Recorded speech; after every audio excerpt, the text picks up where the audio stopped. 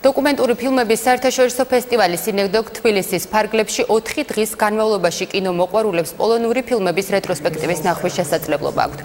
წარმოდგენილი იქნება ხუთი სურათი, ასევე დაგეგმილია უცხოელი კინომწარმოებლების და რეჟისორების ღია დისკუსიები, ვორქშოპები და მასტერკლასები. პირველი საერთაშორისო დოკუმენტური კინოფესტივალი კავკასიაში წელს მეოთხედ ტარდება.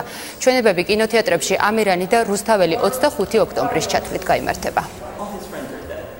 პოლონეთი წელს წარმოადგენს სპეციალურად მოწვეულ ქვეყანას, სტომრის სტატუსით არის, რომელიც ხუთ ფილმს წარმოადგენს ფესტივალზე და ამასთან ერთად მნიშვნელოვანია, რომ ორი დღის განმავლობაში დაგეგმილია ფიჩინგ სესიები, რაც მოიცავს, რომ საერთაშორისო ექსპერტი ტრეინინგებს უტარებს სხვადასხვა არასამთავრობო ორგანიზაციების წარმომადგენლებს და იმ ადამიანებს, რომლებიც დოკუმენტურ ფილმებზე მუშაობენ.